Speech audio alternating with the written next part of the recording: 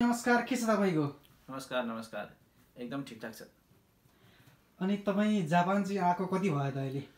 म जापान आएको लगभग छ महिना हुन लाग्यो।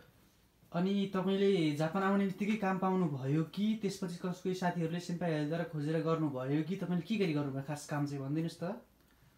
मैले चाहिँ जापान आउने बित्तिकै काम पाइनँ। करिब पैँतालिस दिनको दिनदेखि मैले काम सुरु गरेँ हो। र सुरुमा चाहिँ मैले सेन्पाईबाट पनि होइन हाम्रै साथीहरूबाट आजुबाइतो लेखेको ठाउँमा खोज्दै जाँदाखेरि अँ, आरुबाइतो लेखेको ठाउँमा फोन नम्बर ल्याएर फोन गरे पछाडि हामी फोन गरेर गयौँ त्यस पछाडि हामीले अनि खास काम तपाईँले केमा गर्नुभयो त? जापानमा त अब सुसिरोहरू धेरै यताउति आमातोहरू धेरै हुन्छ नि केमा गर्नुभयो त खास सुरुमा हामीले यामातोमा काम गरे हो। हजुर। त्यस पछाडि हामी सुसीमा छिरेछौँ। अहिले सुसीमै काम गर्दैछौँ।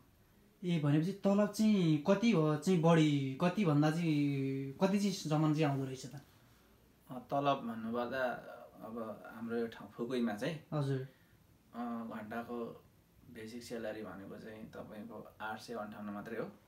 अनि तपाईँ चाहिँ अहिले त्यसो भए आमातो चाहिँ छोडेर अहिले सुसीतिर लाग्नुभयो। हजुर हजुर। खास अब चाहिँ विदेशीहरूले खास अठाइस घन्टाभन्दा काम गर्न नमिल्ने भन्ने कुरो छ। तपाईँले चाहिँ अहिले कसरी कति जति काम गर्नु भएको सुसीमा अँ, विदेशी भन्नाले पनि विद्यार्थी भिसामा आउने सम्पूर्णले हजुर। अठाइसभन्दा बेसी काम गर्नु मिल्दैन। हजुर।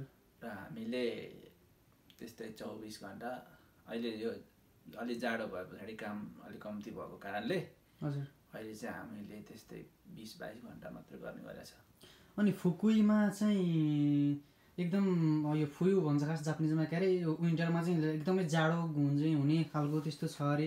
हिउँहरू पनि धेरै पर्छ अरे। त्यसको लागि चाहिँ अब तपाईँले सुसीबाट चाहिँ केही अब तपाईँलाई लिन आउँछ कि तपाईँले काम गर्नुहुन्न कि के छ त्यस्तो अवस्थामा चाहिँ तपाईँले अब आफ्नो लुगाहरू पनि राम्रोसँग लगाउनु पऱ्यो यता एकदमै हिउँ पर्छ भनेको छ। त्यति बेला अब त्यति बेलाको समय बिचमा चाहिँ तपाईँ काम नगरी बस्नुहुन्छ कि ब्याङ्क ब्यालेन्स छ कि के गर्नुहुन्छ तपाईँले? त्यसको अवस्थामा लागि चाहिँ सबैको लागि एकदम महत्त्वपूर्ण कुरा हो। तपाईँ यो भिडियो हेरेर सबैजनाले चाहिँ थाहा पाउनु पनि हुन्छ यसको लागि चाहिँ खास के चाहिँ गर्दा राम्रो हुन्छ भन्दैन त? अब त्यसको लागि अब हामीलाई दुई तिन महिना चाहिँ हजुर। एकदमै अब समस्या हुने किनभने एकदमै हिउँ पर्ने भएको कारणले गर्दाखेरि टाढा काम भन्ने साथीहरूलाई एकदमै समस्या हुने र कति कम्पनीहरूले चाहिँ लिन आउने र कति कम्पनीहरूले चाहिँ दुई तिन महिना चाहिँ बिदा जस्तो बस्नुपर्ने भएको कारणले हजुर। समस्या नै हुन्छ किनभने हाम्रो सुसीबाट चाहिँ लिन नआउने भनेको छ। यासुमी बस्नु भनेको छ दुई तिन महिना जति। त्यही भएर एकदमै गाह्रो हुन्छ त्यस बेला चाहिँ अब अब पैसा पनि हुँदैन। अब नजिक काम खोज्दा पनि अब अहिले जाडो सिजनले त्यति दोकानहरू पसलहरू व्यवसाय नचल्ने भएको कारणले गर्दाखेरि एकदमै समस्या भइरहेछ। अनि तपाईँ अब चाहिँ अहिले ल्याङ्ग्वेज पढ्दै हुनुहुन्छ होइन त? हजुर। ल्याङ्ग्वेज लेभल चाहिँ कतिको छ त? कतिको चाहिँ नि तपाईँको अलिकति बने ल्याङ्ग्वेज बने जस्तो लाग्छ तपाईँलाई? अब पहिला भन्दाखेरि अब आफू सुरुमा आउँदा भन्दा धेरै प्रगति भयो जस्तो लाग्छ तर अझै सिक्न धेरै छ हामीले किनभने हामी अझ फ्लुएन्टली बोल्न सकेका छैनौँ। अलिअलि बोलेको बुझ्छौँ लेख्न सक्छौँ बोल्न सक्छौँ पढ्न सक्छौँ। त्यस्तै छ भनेको कुराहरू सुनेर हामी प्रतिक्रिया दिन सक्छौँ तर पुरा मजाले बुझ्ने चाहिँ भएको छैन अझै पनि। अनि गएको चाहिँ सबैको फरक फरक हुन्छ अरे कसैकोमा चाहिँ अब एकदम टाइट गर्ने कसैकोले चाहिँ अब दुई तिनवटा काम पनि लगाइदिने। तपाईँहरू चाहिँ खास चाहिँ गएको चाहिँ कस्तो छ त? तपाईँहरूलाई दुई तिनवटा काम लगाइदिन्छ कि एउटा मात्रै गर भनेको छ कि गएको अब चाहिँ अब पैसा पैसा अलि लुट्ने खालको छ कि कस्तो खालको छ त तपाईँहरू? हाम्रो चाहिँ गएको अरू जापानमा भएका कलेजहरूमा चाहिँ अलि महँगो पनि छ। हजुर। प्लस गएकोले हामीलाई कुनै पनि कामहरू लगाइदिएको छैन। हजुर। कसैले प्रायः लगाइदिएको छैन। यता कता एक दुईजनालाई लगाएको भन्ने कुरा रहेछ हजुर। र अब अलिकति महँगो पनि छ र अलि जस गएकोले त्यस्तो साह्रो विद्यार्थीको लागि खास केही गरेको छैन हाम्रो चाहिँ विद्यालयले खास। अनि। तपाईँको गएकोमा चाहिँ विद्यार्थीहरू चाहिँ तपाईँ त अब नेपाली हामी त नेपाली भइहाल्यौँ होइन। कति जति विद्यार्थी स्टुडेन्टहरू चाहिँ कति जति छन् त? अहिले लगभग हामी नेपाली मात्रै हिसाब गर्ने तपाईँको डेढ सयभन्दा माथि छौँ होला नेपाली मात्रै। अब नेपाली धेरै भएपछि गाह्रो पनि भियतनामी चाइनिज कोरियन गरेर अरू तपाईँको तिस चालिसजना होला। लगभग दुई सय हाराहारीमा स्टुडेन्ट छन् होला हाम्रो फुकुई ल्याङ्ग्वेज एकाडेमीमा। अब तपाईँ अब दुई वर्ष तपाईँको स्कुल चाहिँ अब दुई वर्षको होला होइन? हजुर। दुई वर्ष सकिएपछि चाहिँ तपाईँ अब यहीँ बस्नुहुन्छ कि अन्त कुनै ठाउँमा सिफ्ट हुनुहुन्छ कि अर्को तपाईँको कोही मान्छे हुनुहुन्छ कि तपाईँ खास के गर्नुहुन्छ?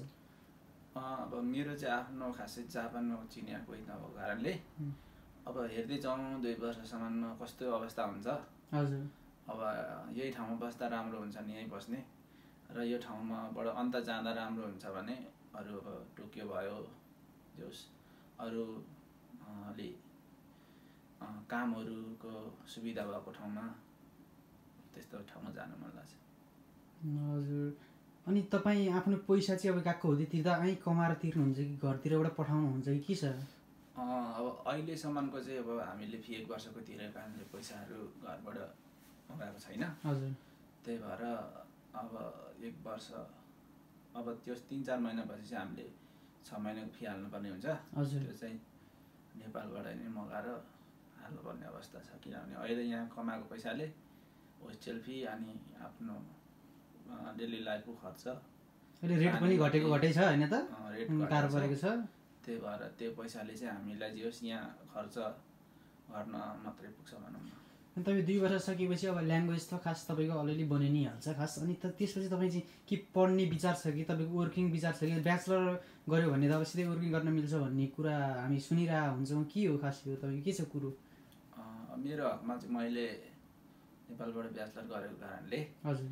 म चाहिँ अब ब्याचलर अब यहाँ दाइ गएको अथवा सेनमान गएको नभइकन मिल्यो भने चाहिँ राम्रो भयो भने राम्रो कम्पनी पायो भने चाहिँ वर्किङमा जाने। वर्किङ गरेर काम गर्ने। अथवा भएन त्यो सम्भव भएन भने फेरि सेनमन अथवा दाइ गएको छिर्ने विचार छ। ठिकै छ। त्यसो भएदेखि अब तपाईँको जापानिज लाइफस्टाइल यस्तै यस्तै नै छ भनौँ होइन? अब सुरुमा अलिकति हामीले भाषाको होइन नेपालबाट राम्रोसँग अध्ययन अध्यापन नगरिकन आएर चाहिँ हजुर। धेरै समस्या भएको छ। सुरुमा नेपालबाट एन फाइभ अथवा एन फोर पढेर आएको भए यहाँ धेरै सजिलो हुने रहेछ नेपालबाट चाहिँ खास कति जति पढ्दा कस्तो पढ्दा चाहिँ नेपालबाट अब जा आउन आँट्दै गरेका मान्छेहरूले तपाईँको सजेसन चाहिँ के छ त? तपाईँले के गर्दा राम्रो हुन्छ भन्नुहुन्छ तपाईँ उहाँहरूलाई? अब नेपालबाट आउने साथीहरूलाई चाहिँ म के भन्छु भने सबैभन्दा ठुलो कुरो चाहिँ हजुर। आउनुभन्दा अगाडि चाहिँ भाषाको एकदमै तयारी गर्नुपर्ने हुने रहेछ हजुर। सुरुमा हामीले चाहिँ के लाग्थ्यो भने भाषा त हो उहाँ गएर पढिहालिसक्दाखेरि पढ्ने जाने भनिन्थ्यो। हजुर। तर यहाँ काम प्लस पढाइ प्लस तनाव अर्काको देश अब सबै कुरा भाषा मिल्दैन केही बुझिँदैन एकदमै समस्या हुन्छ। हजुर। त्यही भएर तपाईँहरूले जापान आउनुभन्दा अगाडि नै एकदमै भाषाको तयारी गरेर हजुर। आउनु भविष्य छ। तर एकदमै मिहिनेत गरेर वहीँबाट तपाईँले एन फाइभ अथवा सक्नुहुन्छ भने एन फोर पनि गरेर आउनुभयो भने तपाईँहरूले एकदम भेट्छ ल हस् थ्याङ्क यू तपाईँले आजको कुराकानीमा। तपाईँले यति भनिदिनु भएकोमा धेरै धेरै धन्यवाद। हस् हजुर धन्यवाद तपाईँलाई पनि।